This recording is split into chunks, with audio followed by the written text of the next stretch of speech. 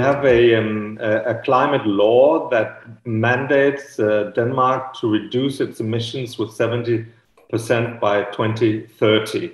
And the Ministry for Climate and Energy is overall in charge of implementing that law. Um, and the Minister for Climate and Energy chairs a new government cabinet, a green cabinet, where all legislation that is related to climate change has to be vetted and, and discussed before it is passed on uh, for, for government decision and then presentation in parliament. Um, now, um, every year the government has to present in parliament an implementation plan, a plan of action for the next budget year. So in September every year, a plan is presented that is then adopted in Parliament in, in December for implementation uh, from January the following year. And we have to do that every year for 10 years. So it's a very, mm. very rigorous system. There are, there are four interconnected domains, which is uh, research, development, demonstration, and market introduction. As part of the climate law, the, we also have published or, or developed a strategy for investment in green research, technology, and innovation. And that's the strategy that sets the, the direction for green technologies and solutions for the future. Um, it has a mission oriented approach that involves partnerships and cooperation between um, authorities, industry, research.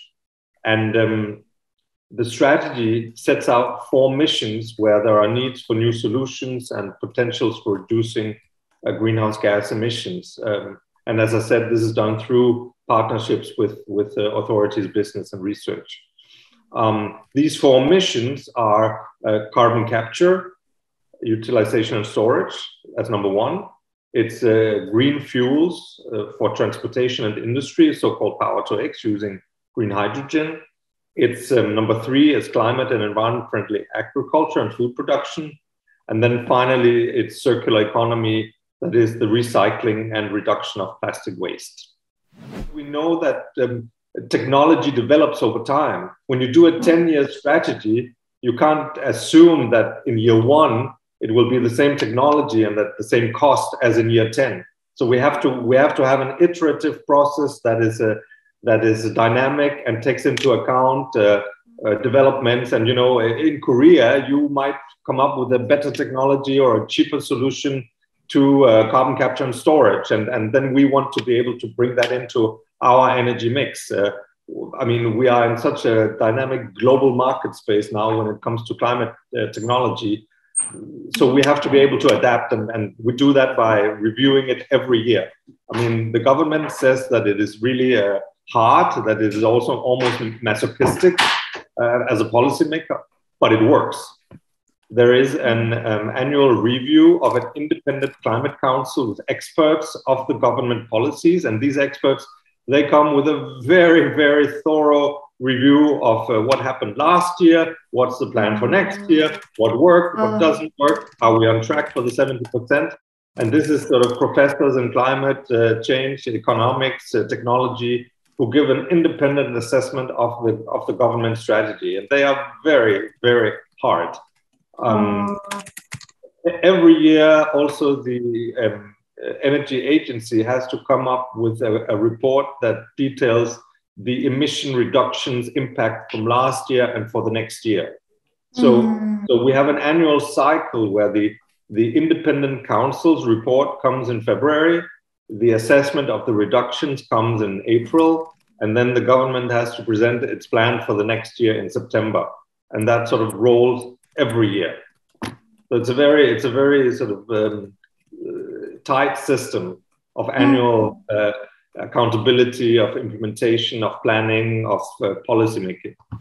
Um, we adopted the 70% target uh, two and a half years ago. We had the law adopted um, less than two years ago.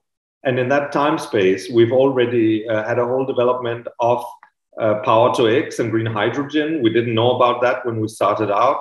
Uh, this um, idea of energy islands, uh, we didn't know that uh, two and a half years ago mm-hmm. when we mm-hmm. started out. Um, the uh, the notion of taking carbon capture and storage to scale, there are many technical details so that once we have it um, so that once we have it uh, right, we can replicate it so that it's not just one island, but it may be five or maybe 10. Uh, the energy demand is very high in our part of, of uh, Europe. So even if we can, the Danish uh, energy demand today is maybe only seven gigawatt. We're a small country, but we have a large neighbor like, like Germany um, that have a huge energy demand. They have decided to end coal. They have decided to end nuclear. Um, and currently, they also have a very big um, a potential gas crisis because of the mm-hmm. very unfortunate uh, war between Russia and Ukraine, and, and, and that mm-hmm. might have an impact on the gas delivery for Europe.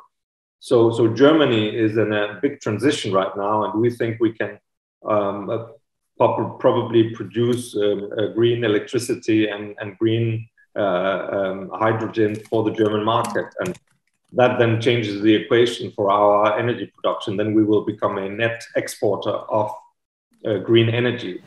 Well, I mean, the, the government's role is uh, uh, number one to provide the right regulatory framework uh, and the um, the conditions for applying. We're also looking into speeding up the permitting process, um, the environmental assessment. Uh, the first windmills we built in the harbor of Copenhagen uh, the city invited the local citizens to become co-owners of the first turbine.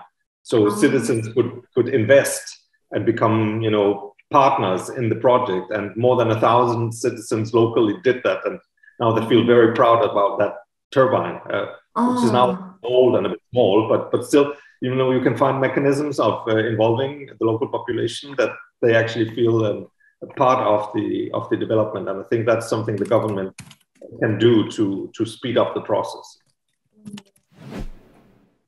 I think the government always needs to take, try to take a balanced approach and take on board all, all opinions. But at the end of the day, um, uh, since we have to move the, the uh, green uh, technology forward by law, we are bound to the 70% reduction target, which is a large part of the population and govern and the parliament and um, everyone else wants, uh, we have to move forward. So we have to come to decisions. And you know, time is ticking on on climate change. The reports we're getting from the uh, UN's uh, climate panel um, are really, really bad. Uh, the situation globally is bad. So um, while we have to take uh, everything into account, we also have to make decisions on moving forward. So um, that that's I think that's the spirit in, in Denmark now. And I would say with the with the war in um, in in between Russia and Ukraine and the energy situation in Europe now, the political mood in Europe is leaning more towards taking decisions on going forward with the renewables at scale quite fast. Uh, that's the way we're pushing now because we have to find alternatives to the fossil energy. Uh, the government has also, with industry created public private partnerships around the 14 main sectors in Danish business. And in, within each sector, the, the business community has self organized. They have appointed uh, uh, the um, CEO from their group as the, as the chair. For example, um, uh, Maersk, the shipping company, is, is heading the group on, on, on shipping.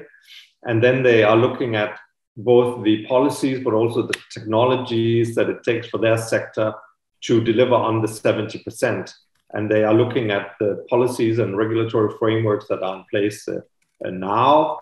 They are uh, coming with suggestions for um, uh, policies and, and, and frameworks that could help them uh, speed up their transition to, uh, to low carbon technologies and they are also looking at what it takes internationally. I think we have been focused, uh, just like you, on mitigation for a long time, but uh, given the way we can see the impact of climate change is now happening, uh, we're getting uh, um, severe downpours of rain, we're getting bigger storms, we know that sea level is rising, that might uh, mm-hmm. endanger our uh, land. Um, um, you know, um, the, the, harbor of Copenhagen uh, ha has to adjust.